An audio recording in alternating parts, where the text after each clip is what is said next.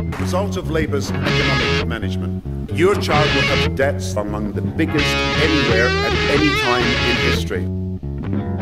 We will never change. We are still the arrogant, callous, ruthless, wicked Tories.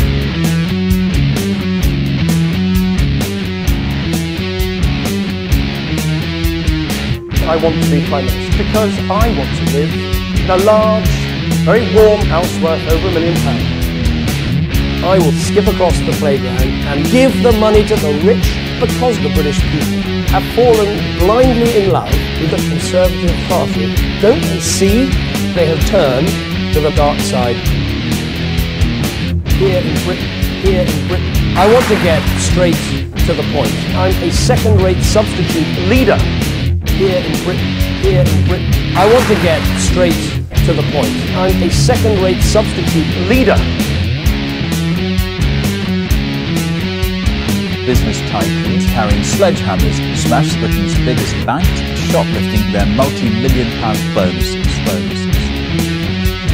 When it comes to alcohol, how much is too much? The court in Paris has said it's up to Scotland to decide. They say you should have 300 units every 45 minutes, then stop off for a beer on the way home, then stop off for a beer on the way home.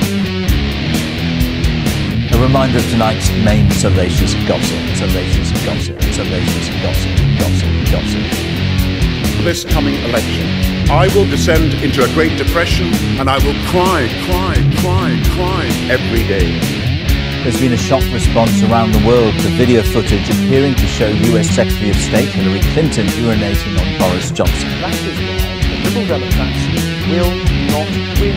The British Prime Minister is a posh English Queen. He has his own dick up his arse, arse. Though that is bad enough, I will not be Prime Minister. I'm sick and tired of my job. The BBC has won a High Court battle for the right to broadcast child pornography.